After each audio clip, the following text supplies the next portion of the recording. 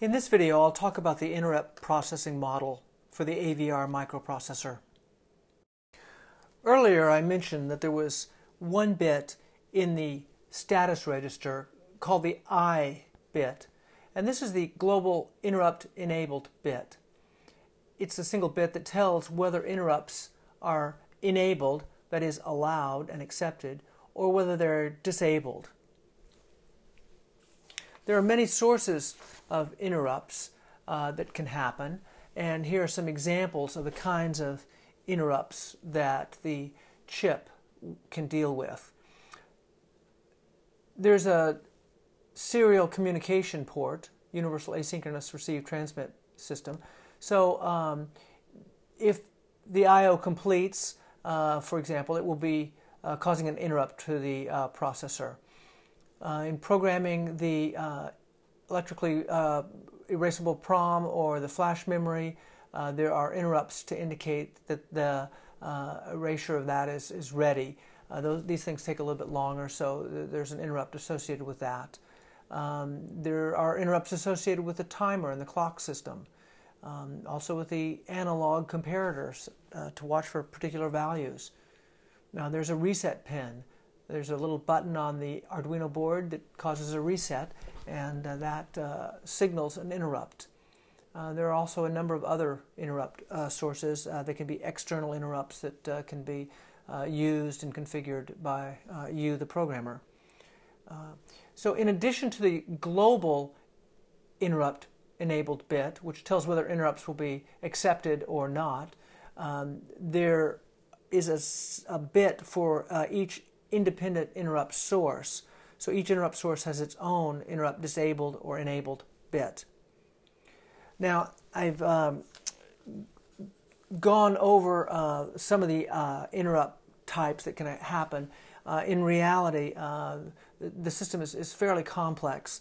Uh, for example, many devices have uh, several types of different interrupts. the timer has nine different types of interrupts associated with it. The serial uh, communication port has three different types of interrupts associated with it. So it's a little bit more complex than just uh, I suggested here. Let me talk a little bit about a couple of sources of interrupts. And in particular, um, the power on reset uh, is uh, one that uh, is of interest.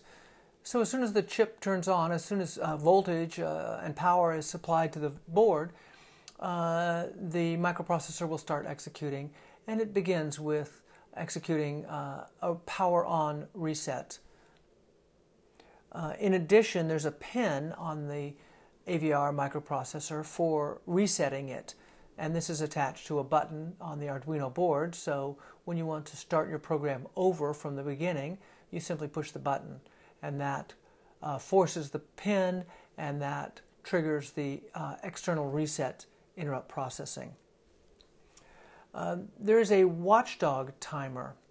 Uh, let me try to describe what the watchdog timer uh, is. It's, it's basically a system for detecting uh, when the software has a bug and has uh, gone out to lunch, perhaps in an infinite loop. So if the watchdog system is enabled, then um, we might have an interrupt of this sort. If the watchdog system is enabled, then the application program must periodically uh, feed the dog, as they say. Um, for example, every one second, it has to do uh, the watchdog reset instruction that I mentioned previously. So it has to issue an appropriate instruction every so often, uh, for example, every second. And if the software has a bug in it and goes off looping and something and fails to work properly, it doesn't execute this instruction and a failure to execute the uh, reset instruction, a failure to feed the dog within the uh, allotted time constraint will cause um, a watchdog timer interrupt. So it'll cause a system reset. So uh, uh it will reset the system. So this allows uh, some kinds of um, applications to uh, recover after they have some sort of a bug or internal error or fail for some reason or another you see this kind of thing going on in uh, space probes where uh, after uh, something's gone wrong. Uh, perhaps it's been hit by a gamma ray or something like that, and the computer dies. Well, they don't want to lose the whole ship, so after a, a while, um, the watchdog timer will expire, and the whole entire uh, satellite will or space probe will reset, uh, and then they can somehow recover it and maybe resume communicating with it. So this is what that sort of thing is used for. Another uh, uh, thing is the brownout detector. Um, if power starts to fade uh, or, or, go down, uh, we can have a reset that would occur if the voltage falls below a certain threshold, if this brownout detector is enabled. So now let's look at interrupt processing. What happens when an interrupt occurs? Located in the flash memory is the interrupt vector.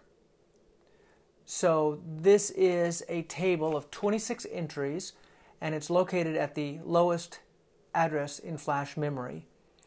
And each entry is in fact two words. Remember that the flash memory is 16 bits wide. Each element, each word of the memory is 16 bits. So two entries together make 32 bits. So there are 26 entries of two words each, where a word is 16 bits. And here's um, sort of what that uh, table looks like. Uh, at address 0 is the entry for a general reset. Um, there are other uh, entries, for example, external interrupt on, on pin 16 uh, would be uh, the sec- second entry. Uh, watchdog timer timeout is here. There's um, there are interrupts for the timer and the serial device. So, for example, this entry is for an interrupt that occurs when a receive operation is completed. Each entry in this table contains a jump instruction. Okay, this is a, an a two-word instruction, so it takes uh, two 16-bit words uh, because it contains not only the jump opcode but a 16-bit ab- address. So each entry contains a jump. Here's what happens when an interrupt occurs. Here is how the interrupt handling begins. First of all, when the interrupt occurs, the processor asks whether interrupts are enabled or not the global interrupt flag as well as the individual enabled bits for the specific interrupts. If this interrupt is not enabled, then it's not handled at this time, and the processor just waits to handle it until later. However, if the interrupts are enabled uh, and this specific interrupt is enabled, then the interrupt processing occurs. So the first thing that happens is that the processor changes the global interrupt bit in the status register to zero, which indicates that all interrupts are disabled. This prevents any additional interrupts from occurring while this interrupt is being handled. Next, the processor stores the current program counter on the stack. It pushes the program counter on the stack. Then, depending on what kind of interrupt it was, it loads the program counter with the appropriate address from the uh, interrupt table. And then it begins executing. The first thing is the jump instruction, so that causes a jump into the interrupt handler. Okay, sometimes these are called interrupt service routines, but in any case, it's a subroutine that uh, you or some programmer has written to deal with the interrupt. And so now, at this point, the next instruction begins executing, and the interrupt service routine uh, does whatever it has to do. Eventually, the uh, interrupt handler ends and is, has finished dealing with the interrupt, and to return to the application program that was interrupted, the handler executes the return from interrupt instruction. So here's another instruction, RETI, the return from interrupt instruction. And what this does is it pops the program counter from the stack. Okay, the, the, the program counter that was pushed here, presumably. And it also re enables interrupts. So the I bit in the status register is flipped back to indicate that global interrupts are enabled.